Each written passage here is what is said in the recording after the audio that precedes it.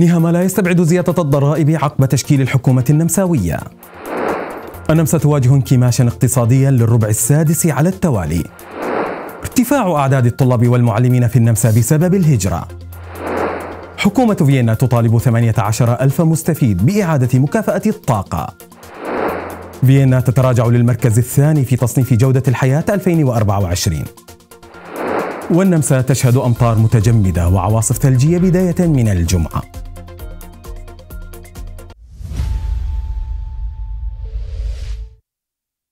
السلام عليكم وإليكم نشرة الأخبار على نمسا ميديا ليوم الأربعاء الرابع من ديسمبر 2024 أعلن المستشار النمساوي كارني هامر زعيم حزب الشعب أنه لا يستبعد زيادة الضرائب لمواجهة العجز في ميزانية الدولة وقال إنه يجري حاليا مفاوضات مع زعماء الحزب حزب الاشتراكي الديمقراطي وحزب النمسا الجديد لتشكيل حكومة ائتلافية جديدة مع وجود خلافات حول قضايا الضرائب والميزانية. وأكد نيهامار ضرورة مراجعة النفقات لاكتشاف إمكانيات التوفير. من جهته شدد أندرياس بابلر زعيم الحزب الاشتراكي على أن توحيد الميزانية يتطلب خفض النفقات. ومن المتوقع أن تنتهي المفاوضات بحلول الثاني عشر من ديسمبر لتوضيح النقاط المتفق عليها والمعلقة. أعلنت هيئة الإحصاء النمساوية عن استمرار التراجع في الرفاهية الاقتصادية في النمسا.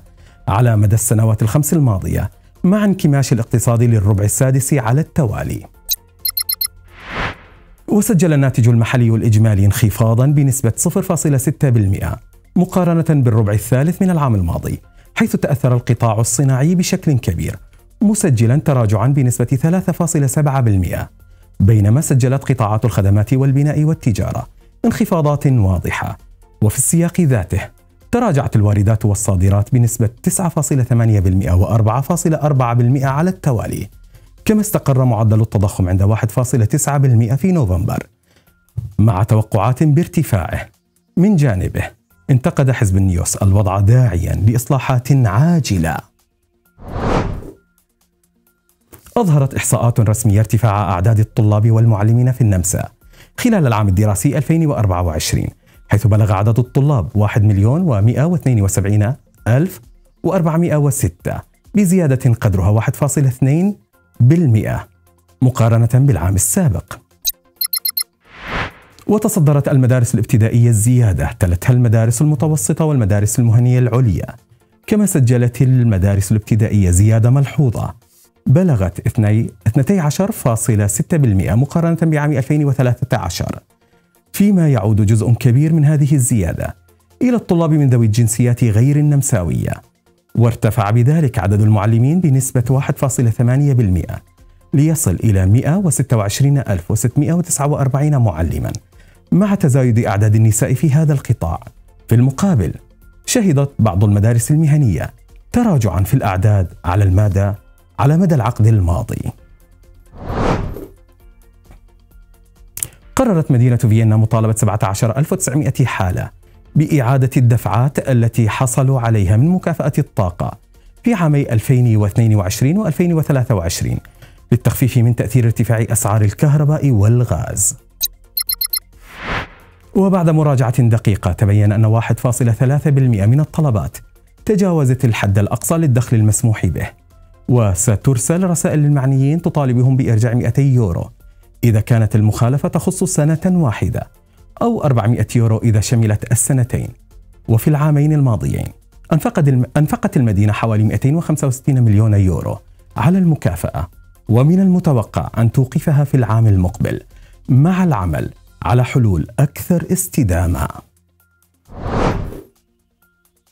تراجعت فيينا إلى المرتبة الثانية في تصنيف جودة الحياة لعام 2024 لشركة ميرسر للاستشارات الذي يقيم المدن الأكثر ملائمة للعيش بالنسبة للمغتربين الدوليين وأتت فيينا بعد زيورخ التي تصدرت القائمة لأول مرة.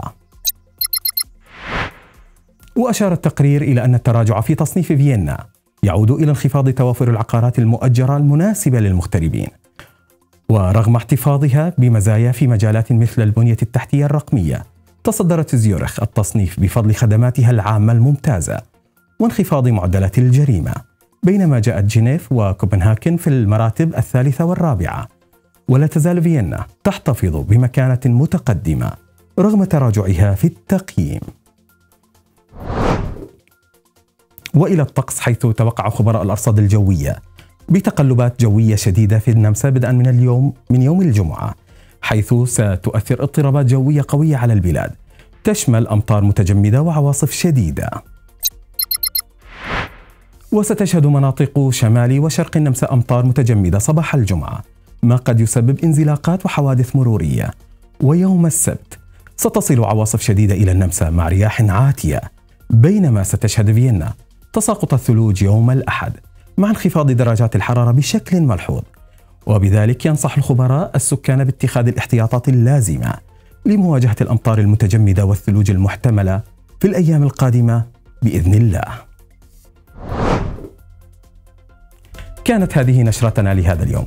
ومشاهدينا أذكركم أيضا بضرورة متابعة موقع Infograt dot com كنت معكم أنا أدهم الليجي. أطيب الأوقات إلى اللقاء.